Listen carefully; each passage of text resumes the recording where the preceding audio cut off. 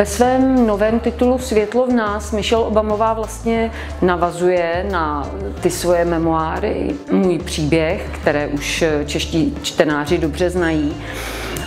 Ale je tam jedno takové velké téma navíc, a to sice jak si poradit v nejisté době. Tím se Michelle Obamová hodně zabývala během té těžké doby eh, jednak covidu, který samozřejmě Spojené státy zasáhl stejně jako zbytek světa.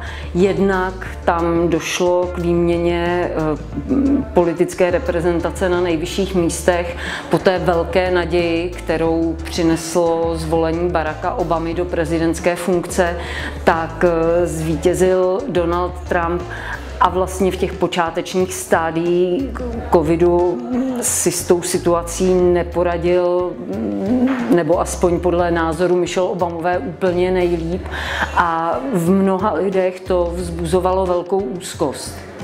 A v téhle knižce ona opravdu dává takové praktické rady, jak si uchovat nějaké svoje duševní zdraví, jak o sebe dbát, ale na rozdíl třeba od takových těch příruček, které říkají, musíte myslet hlavně na sebe, musíte se starat hlavně o sebe a tak dále a tak dále, tak ona vlastně dává tyhle rady s ohledem na to, že člověk chce dělat i něco pro tu společnost. A aby mohl dělat něco pro společnost, musí se starat dobře o sebe. Ona vlastně používá takový termín nějaký kuchyňský společenství, myslím, že tam je. Ano. Vlastně připomíná to, že jako kdyby eh, nás eh, nabádala k tomu, aby jsme eh, posilovali ty bubliny, ano. které máme a nedělali si iluze o tom, že ty bubliny budou nějaký strašně propustný a... No, ona spíš na to hledí tak, že aby člověk právě byl v pohodě a mohl pomáhat ostatním, mohl měnit svět k lepšímu, mohl dělat ty velké věci, tak musí mít nějakou svoji jistotu v těch malých věcech a v těch svých lidech. Je tam uh, taková krásná rada, když uh, malé Michelle Obamové se kdysi nelíbilo, co dělá matikářka, měla s ní nějaké neschody a maminka jí říkala, podívej se, ty využij znalosti té matikářky na to, aby se naučila matiku. Když budeš chtít, aby tě měl někdo rád, přijď domů. Tady tě budeme mít vždycky rádi. A o tom ona hodně mluví, jak je důležité věnovat eh, čas a pozornost těm svým přátelům, protože ti vás budou mít vždycky rádi. Vaše rodina, ideálně váš partner.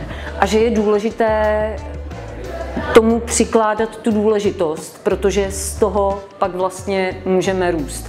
Takže ta společnost přátel u kuchyňského stolu, ta je hodně důležitá. A ty malé věci, jako třeba pletení, které můžete začít a pak vidět ten výsledek v dohledné době, tak to je taky důležité, aby se člověk cítil dobře.